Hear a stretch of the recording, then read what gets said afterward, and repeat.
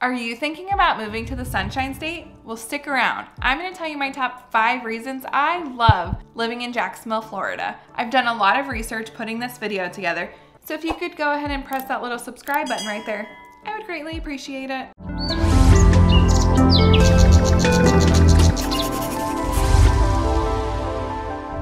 Hi, I'm Sarah Schwartz, a local realtor in Jacksonville, Florida, and I'm gonna tell you my top five reasons I love living here. Let's get started. Reason number five, location, location, location.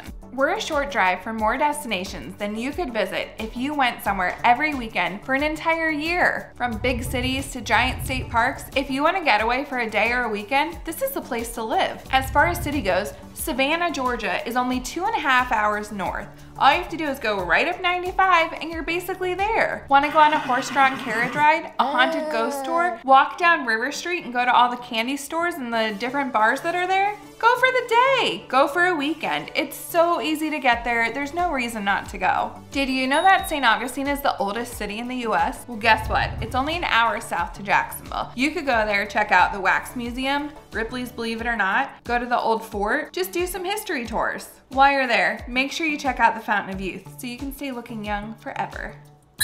St. George Street is also a personal favorite. It's a mile walk where there's restaurants and boutiques on either side of you. Sometimes I like to just go down there for dinner and drinks, or maybe stay overnight at an old bed and breakfast. Over 6 million people visit the small town of St. Augustine every single year. It's basically a tourist attraction, but also a really fun place to go.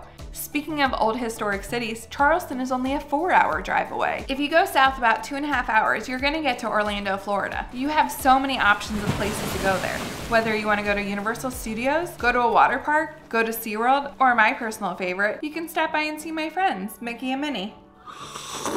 One really cool thing about the new water park there, Volcano Bay, you can basically go up to a ride, scan your wristband, and then it'll tell you when it's your turn so you don't have to wait. Are you a NASCAR fan? Because the Daytona 500 is an hour and a half south. They've also moved one of the greatest concert weekends there. Welcome to Rockville. It used to be in Jacksonville, Florida, but it was moved to Daytona to accommodate the huge crowd that loves to go. Guilty. On these hot summer days, I don't know about you, but I love a good local spring. We have Rainbow Springs, Juniper, Ichetucknee, and Ginnie Springs. Take a float, take your friends, go down the spring, hang out for a few hours, maybe bring your camping gear, stay for the weekend. Just make sure to call or check online first to make sure that they're open. One really cool spring that we have nearby is the Devil's Den. Ooh, spooky. You'll walk down the platform in the middle of the cave, but don't worry, there's a hole so you have some natural light. I've heard that the water's really warm and that they offer scuba diving lessons if you're into that kind of thing. I've never been, but it's on my bucket list.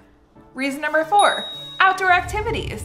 If you're into outdoor activities, the water access here is amazing. Jacksonville has 20 miles of oceanfront paradise, and that doesn't include Amelia Island. From Neptune Beach to Jacksonville Beach to Ponte Vedra, there's plenty of sand for you to kick off your shoes, put down your towel, and soak up some sun. One of my favorite beaches is in South Ponte Vedra, Mickler's or Michler's, the name is still up for debate. That one is well known for shark's teeth washing ashore. Then we have the Intercoastal which runs all the way from Jacksonville to Miami. We have a massive creek system, several inlets, and a few lakes. The St. Johns River is the largest north flowing river in the whole country. With all of the water everywhere, you have so many opportunities to go paddleboarding, surfing, fishing, boating, boat or skip day. The opportunities are endless. Let's talk about the park system. It's already cool enough that we have so much water here, but did you know that Jacksonville has the largest urban park system in the United States? It's kind of crazy to think about, but it's four times the size of the island of Manhattan. We have 80,000 acres of parks. This includes seven state parks and two national parks, a national preserve, 400 city parks, gardens,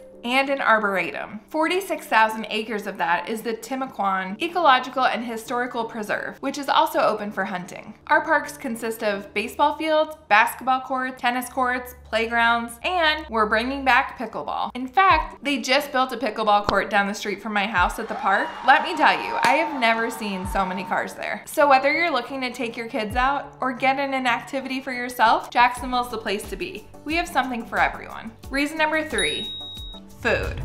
We have so many restaurants here. I mean, seriously, it is impossible to name all of them. Plus, we have new ones coming up all the time because Jacksonville keeps growing. From seafood to steak to pasta and everything in between. You want it, we've got it. I don't want this video to go on forever, so I'm just gonna tell you about some of my favorites. First, let's start with food trucks. Who doesn't love a good food truck? They are all over town. We have hundreds of them.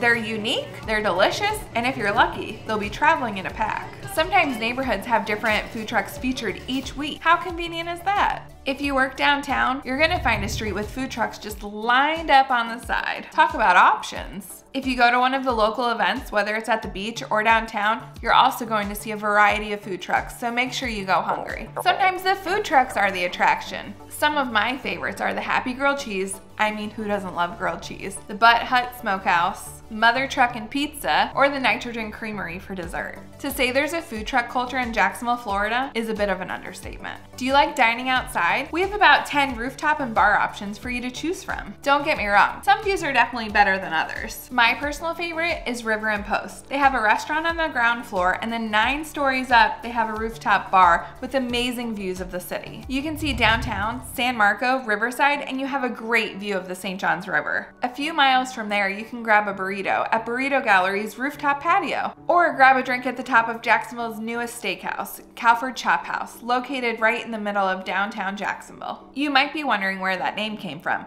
Well, fun fact.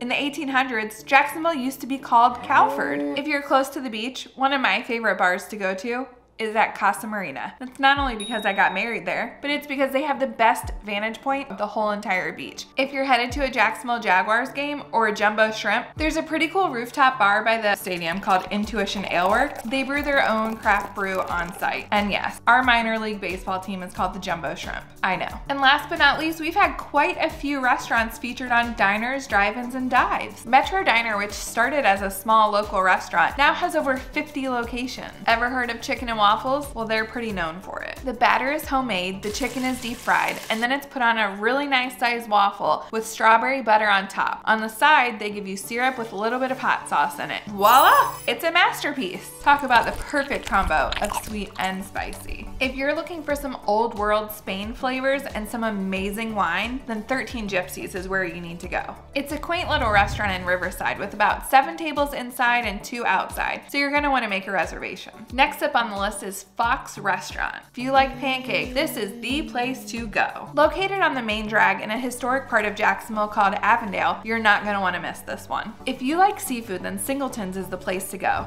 They have the freshest seafood in all of Jacksonville, and I mean, they're in Mayport, so they have the best Mayport shrimp. Reason number two, cost of living. I don't know about you, but I've lived a lot of places, and honestly, the cost of living in Jacksonville is amazing. The median property tax in Jacksonville is lower than the national average. Even compared to South Florida, Central Florida, or the Gulf, Jacksonville takes the cake for affordable living. It's almost like Jacksonville's best kept secret is affordable living, but the word's getting out. This explains all of the development that we've had in the last few years. I mean, the city's population has really started to explode. Plus, Florida has zero state income tax. Why wouldn't you want to live here? Reason number one, annual and local events. We are so lucky to have so many events going on throughout Jacksonville and Northeast Florida. Some people might say that there's nothing to do here, but I think otherwise. For starters, one of my favorite things is the Nights of Lights in St. Augustine. This event has been listed in the top 10 holiday light displays in National Geographic. The entire downtown area of St. Augustine is draped in over 3 million Christmas lights. It is quite the sight to see. Are you a golf fan? If you are, you must be familiar with the Island Green. That's located here in Ponte Vedra at TPC Sawgrass. If you do decide to come here for that, make sure you plan ahead. Traffic is horrible. Every month, downtown Jacksonville hosts a themed outdoor event. If you're interested in seeing local artists showcasing their work, food trucks, and live music, then you're gonna wanna go to downtown Jacksonville once a month when they host Art Walk. Another place where you can check out local artists' work is the Riverside Arts Market. You can go there every Saturday morning under the Fuller Warren Bridge. Jacksonville has both Naval Station Mayport and the Naval Air Station Jacksonville, which is located on the other side of the St. Johns River. With that being said, we have the Jacksonville Sea and Air Show. Blue Angels, local pilots, fighter jets, and Navy boats all flood to Jacksonville for this annual event. With an estimated 300,000 people coming every year, this is an event you definitely don't want to miss. Have you ever heard of the world's largest cocktail party? Well, you can go to it right here in Jacksonville, Florida. The Florida-Georgia football game is located in Jacksonville every single year, and it sure is a weekend attraction. People from all over Florida and all over Georgia make their way here. They don't have a hotel to stay in. We have a really great place called RV City, where you can bring your RV and set up camp for the weekend. It's a long weekend of rivalry, drinking, having fun, and let me just tell you, if you're not a gator, you're gator bait.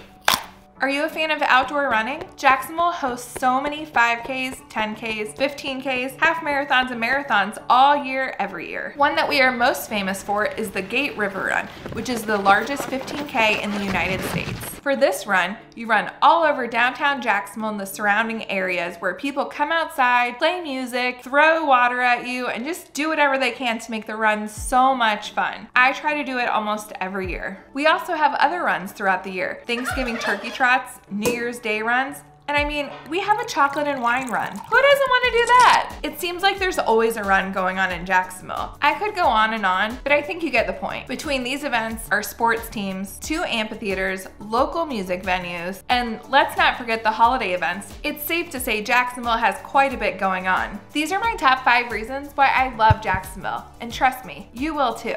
If you enjoyed this video and want to learn more about local and annual events, click the link below for a full list. See you next week. Mwah! I hope you enjoyed this video. If you did, don't forget to hit the subscribe button and hit the little bell so you can be notified whenever there's a new video.